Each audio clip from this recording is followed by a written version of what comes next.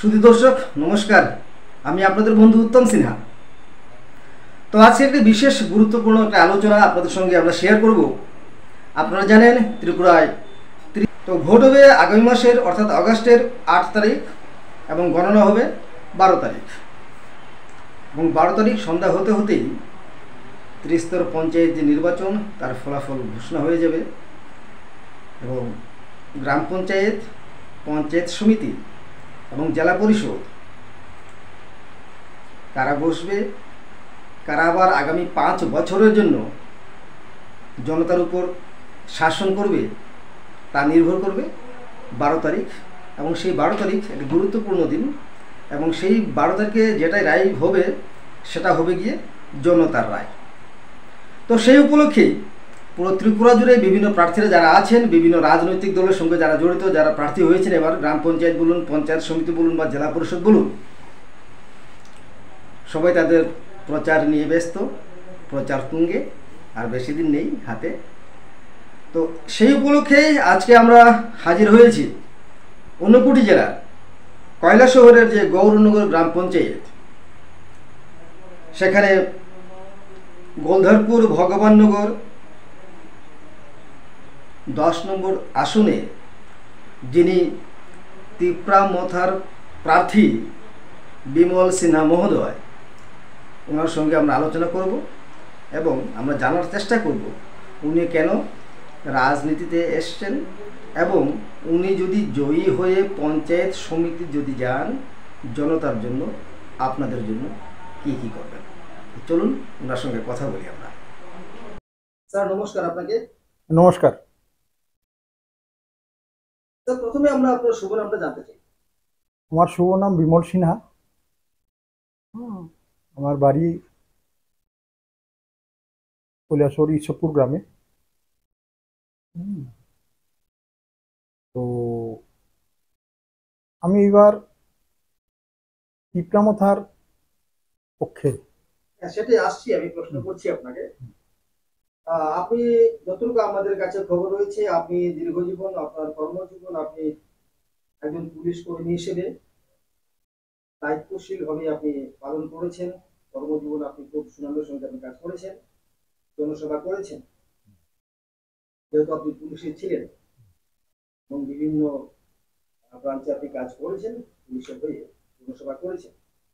এবার আমরা শুনতে পেলাম এবার যে ত্রিস্তর পঞ্চায়েত নির্বাচন। ত্রিপুরার বুকে অনুষ্ঠিত হতে যাচ্ছে আগামী জুলাই মাসের আট আপনি তীব্রামতা দলের হয়ে আপনি প্রার্থী হয়েছেন। বোধারপুর ভগবাননগর দশ নম্বর আসন। তো জনসাধারণ জানতে চাইছে, আপনি রাজনৈতিক জীবনে কেন এলেন? আর কি উদ্দেশ্যে আপনার পদার্পণ প্রথমত আমি এটাই বলব আমি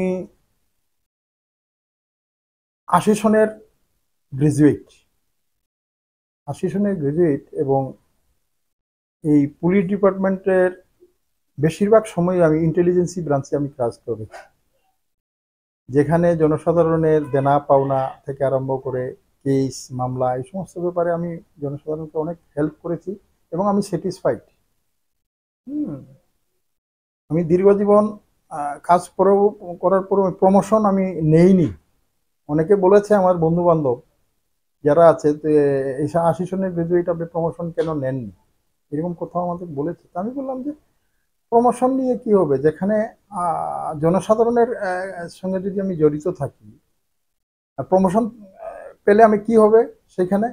প্রমোশন পেলে আমি কাজ করতে পারব ঠিকই আছে, কিন্তু সেখানে সত্যতা, অসত্যতা, এই এই প্রশ্নগুলি জাগে ওঠে। থানা তো অনেক কেস উল্টাপাল্টা হ্যাঁ এগুলি মানে কাজ করতে হয়। যার ফলে আমি বিভিন্ন দিক থেকে চিন্তা করে। আমার ফ্যামিলির দিক থেকে চিন্তা করে যে প্রমোশনটা আমি নেইনি। পরীক্ষাও দেইনি। একবার দিয়েছিলাম সেটাকে ডিসকোয়ালিফাইড হয়েছি। এরপরে আর কোনো প্রমোশন আমি নেইনি। হ্যাঁ তার জন্য জনসাধারণের সেবাটাই আমরা ভাবেছিলাম, লেখাপড়াতে আমি শিখেছি। জনসাধারণের সেবা স্বামী বিবেকানন্দের যে মানুষকে যে ভালোবাসা সেই মানে সারা জীবন ধর্মের দিক থেকেও বা যে কোনো দিক থেকেও সে উন্নতি করতে পারে বা এইরকম একটা জিনিস শুনেছি তো সেই দৃষ্টিভঙ্গিতে থেকেই আজকে রিটায়ার্ডের পরে রিটায়ার্ড হয়েছি আমি আঠারোর জানুয়ারির একত্রিশ তারিখ এবং সেইখানে আমি ফেব্রুয়ারির দুই তারিখ বিজেপিতে আমি জয়েন করেছিলাম। দীর্ঘদিন, দীর্ঘ দশ বছর। হ্যাঁ চোদ্দ থেকে দশ বছর এদিকে আমাদের আঠারোতে যেহেতু জয়েন করেছি, আঠারো, ছয় বছর আমি কাজ করেছি এখানে।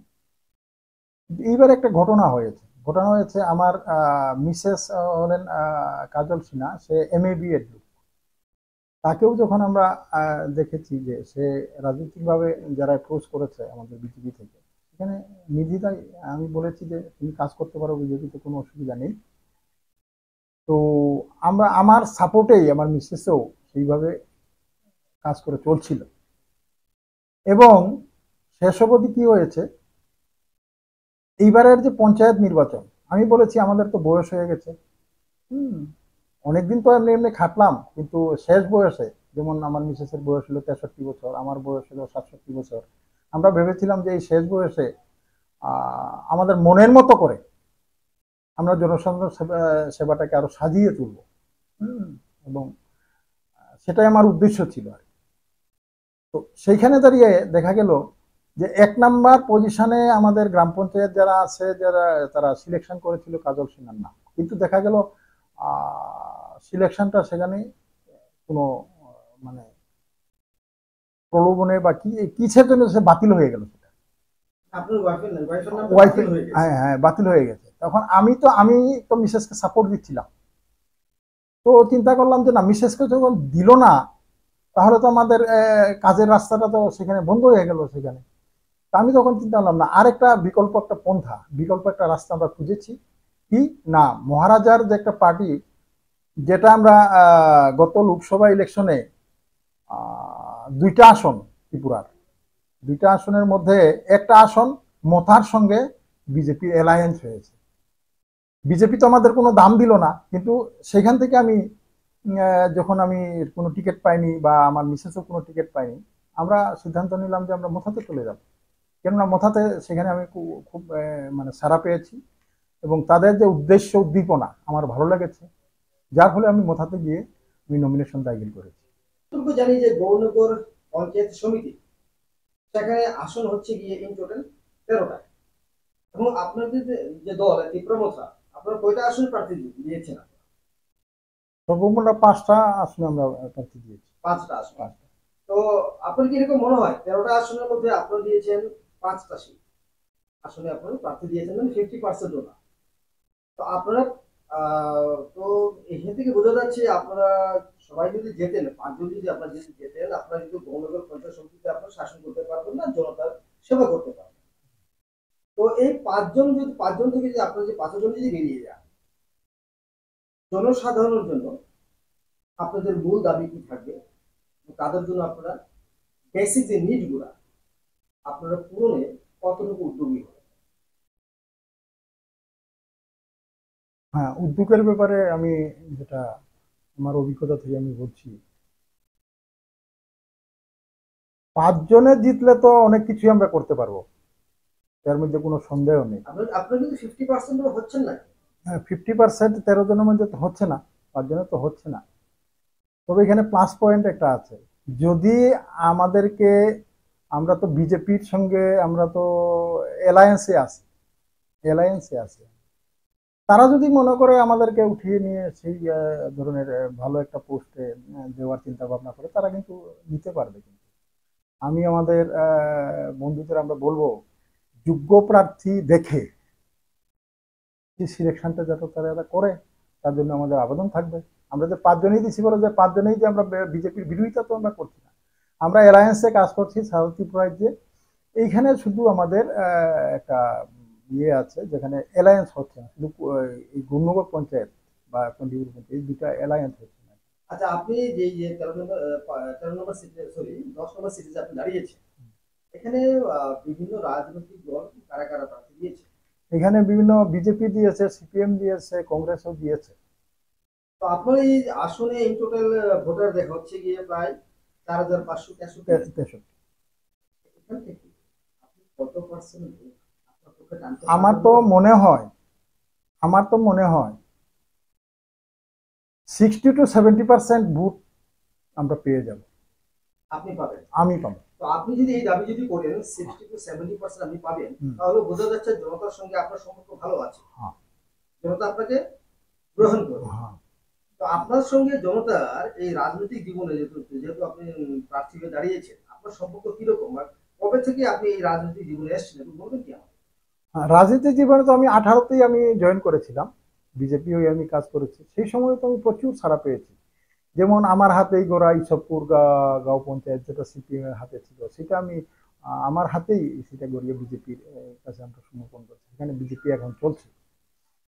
তো এইখানে এই যে জিনিসগুলা, কিন্তু আমাদের উপর মহলের যারা আছে, যেমন মন্ডল সভাপতি থেকে আরম্ভ করে হাই লেভেল ত্রিপুরা রাজীব তারা তারা কিন্তু সেটা কেন যে সুনজরে দেখেনি বা খবর নেয়নি আমি সেটা আমার জানা নেই কিন্তু।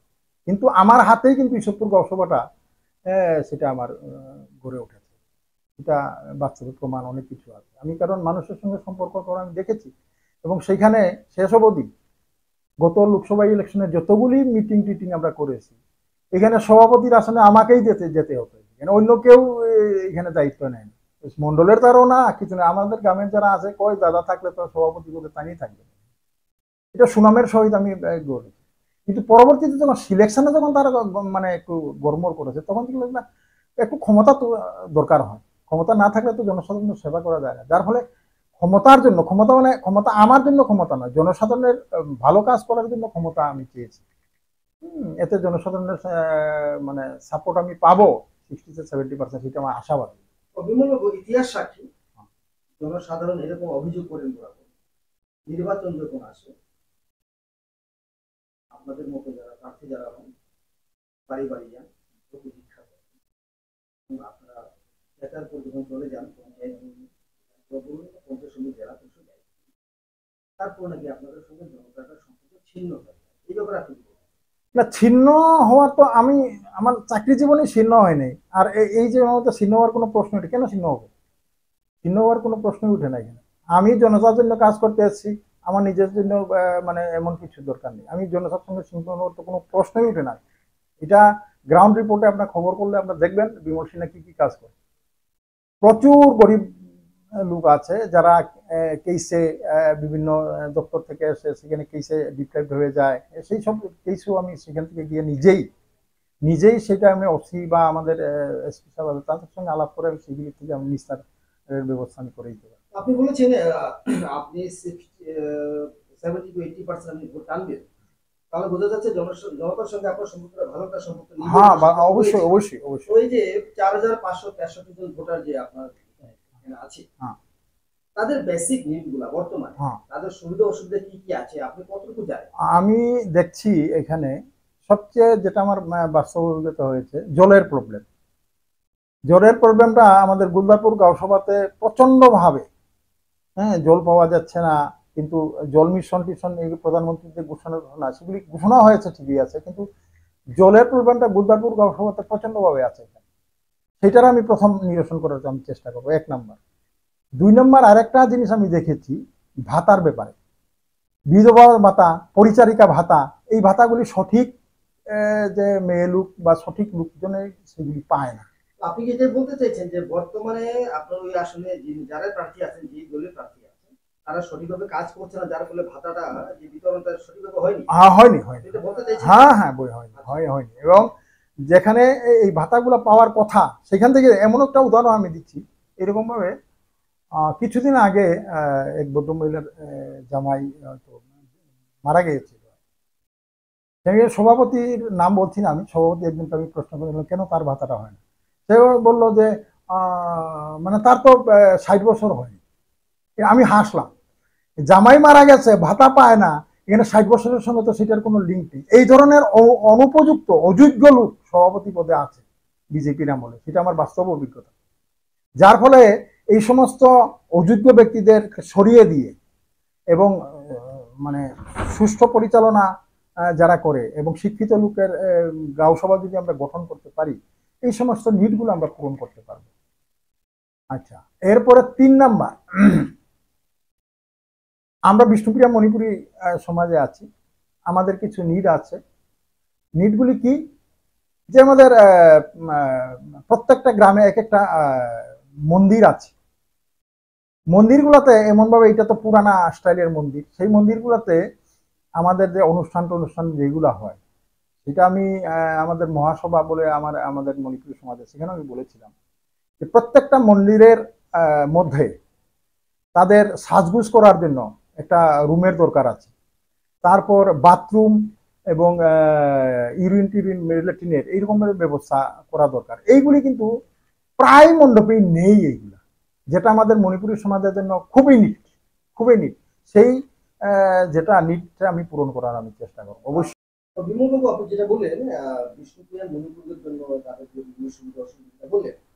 আপনার এখানে তো বিভিন্ন সম্প্রদায়ের জাতির লোক আছে। তাদের জন্য কি তাদের জন্য সেম প্রসেস যেখানে বেঙ্গলি সমাজের যে মন্দিরগুলো আছে, তাদেরকেও সেইভাবে ডেভেলপ করার চেষ্টা। সঙ্গে আমাদের যে মাইনরিটি মুসলিম ভাই যা আছে, তাদের যে মসজিদের ভিতরেও তো এই ধরনের ফেসিলিটি খুব একটা নেই। যার ফলে আমি চেষ্টা করব বিষ্ণুপ্রিয়া মণিপুরীদের যে ডেভেলপমেন্ট আনব, সেই মুহূর্তে মসজিদ, মন্দির এই সমস্ত জায়গাতেও আমি সেই ধরনের ডেভেলপমেন্ট করার চেষ্টা আমি করব। তো আমাদের সম্পূর্ণ ভারতবর্ষে আনএমপ্লয়মেন্ট কিন্তু বিশাল একটা মাথা হ্যাঁ। নিশ্চয়ই সেটা সেই নিরিখে আমরা বলতে পারি আপনার এলাকাতেও আনএমপ্লয়েড ইউথ যারা আছে হ্যাঁ। যুবতীরা যারা আছে তো সরকারি চাকরি সেটা আমরা বলছি না তাদের কর্মসংস্থানের জন্য আপনি কি উদ্যোগ গ্রহণ করবেন সেটা তো বর্তমানে আমরা দেখছি এসএইচজি গ্রুপ বলে একটা বেরিয়েছে কিন্তু আমরা কাজের নিরিখে কিন্তু সেটার যে বেনিফিট কতটুকু হচ্ছে আমরা তারা কিন্তু বলছে যে আমরা কোটিপতি বা অনেক কিছু তৈরি করছি। কিন্তু আমরা তো বাস্তবে তো সেটা দেখছি না আমরা। সেখানে কিছু যে এসএইচজি গ্রুপগুলো আছে টাকা টুকা নৈশই করার খবরই আমাদের কাছে আছে। ভালো দিকটা তো আমরা খবর পাই না। তো আমরা ওই সাইডটা যাতে ঠিক ঠিক মতো চলতে পারে। এই গ্রুপগুলি নিয়ে যে সঠিক যে রাস্তাটা এবং জনসাধারণের কাছে সঠিকভাবে পৌঁছানোর যে রাস্তাটা সেইটি নিয়ে আমরা চিন্তা ভাবনা করব এবং অবশ্যই সেখানে আমরা ডেভেলপমেন্টের নিয়ে আসার জন্য উদ্যোগ থাকব।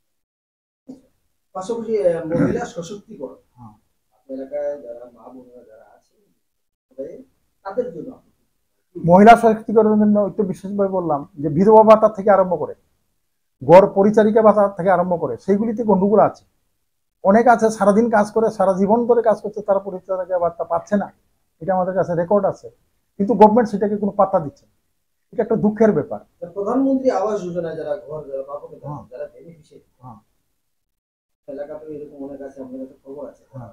প্রকৃত দাবিদার তারা ঘর পায়নি হতো বিভিন্ন কারণ বা অন্যান্য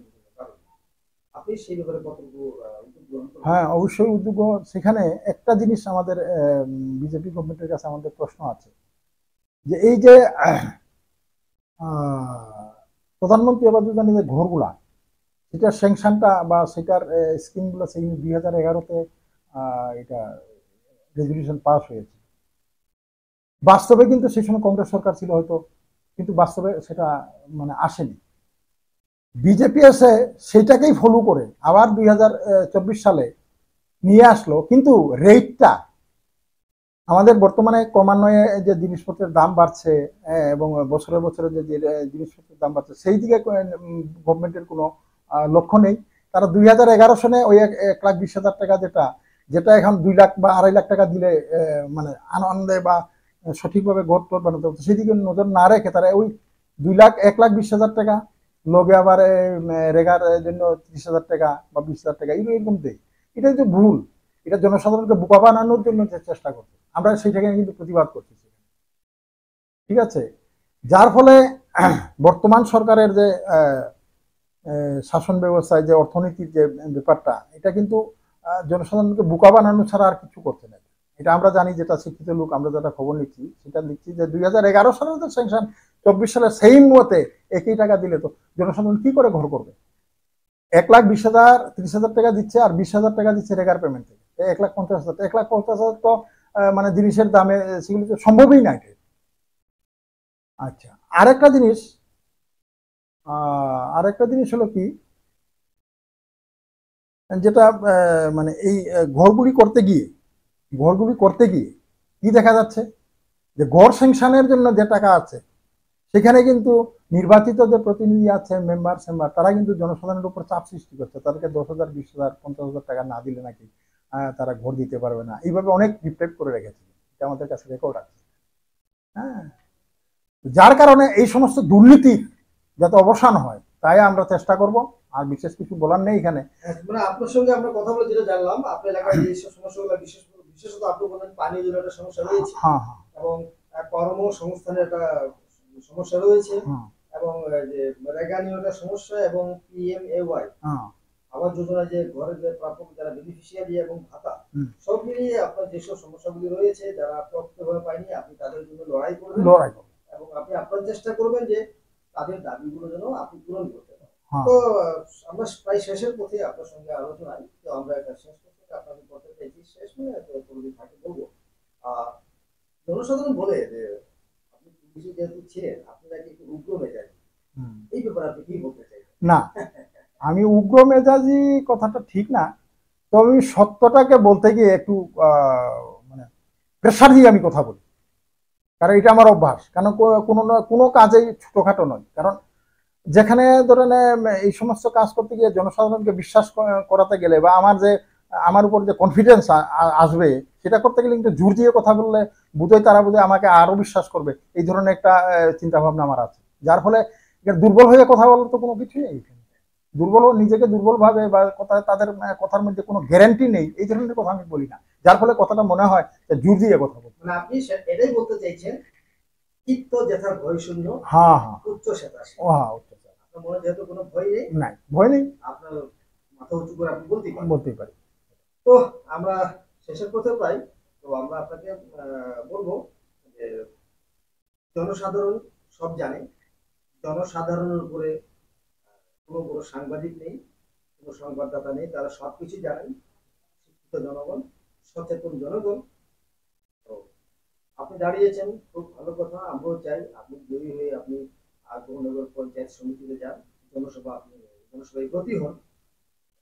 জনসাধারণ যারা আছেন তারা যারা আছেন চার হাজার পাঁচশো তেষট্টি জন তাদের কাছে আপনি শেষ বেলায় কি বলতে চাই শেষ বেলায় আমি বুট প্রার্থী এবং তাদেরকে আমার আমার যে জনগণ যারা আছে আমার উপরে বিশ্বাস রেখে যাতে আমাকে জয়যুক্ত করেন সেটাই আমার কথা থাকবে এবং আশাবাদী হবে নমস্কার।